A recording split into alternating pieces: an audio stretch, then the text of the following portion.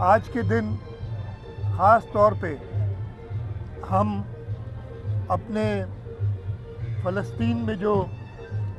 गज़ा में जो शहदा हैं, उनको याद करते हैं और ये अपील करते हैं कि जो बरबरीत उधर चल रही है, पूरी आलमी दुनिया और ख़ास तौर पे आलम इस्लाम, इस पे एक सख्त मौक़ ले और इस बरबरीत को ख़त्म कराए। इसी तरीके से हमारे कश्मीर में जो हिंदुस्तानी बरबरीत चल रही है, उसके लिए भी अकवा मुतहदा को अपनी करारदादों पे अमल कराना चाहिए।